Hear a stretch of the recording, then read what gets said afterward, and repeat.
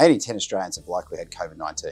While most people recover completely within a few weeks, some experience longer term effects. COVID 19 mainly affects the respiratory system, but lung and heart complications can occur in severe cases. Murdoch Children's Research Institute's ongoing response to COVID draws upon the breadth and depth of our understanding of children, young people, and their families. Our world leading stem cell medicine research continues to test and develop new treatments for COVID 19 and target its complications. Our team has used heart and lung stem cells infected with COVID 19 to better understand how the disease impacts different organs. We found that heart and lung were affected differently and some antivirals were more effective than others.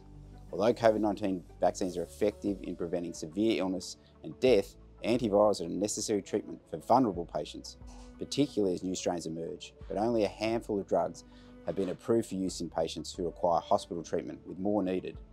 We found two antivirals, including the approved cancer drug alectinib, were promising treatments for COVID-19 complications that impacted the heart and lungs.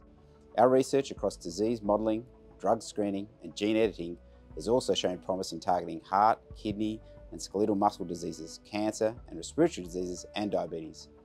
As COVID-19 evolves, Murdoch Children's will continue to work towards improving our understanding of how this disease affects the body.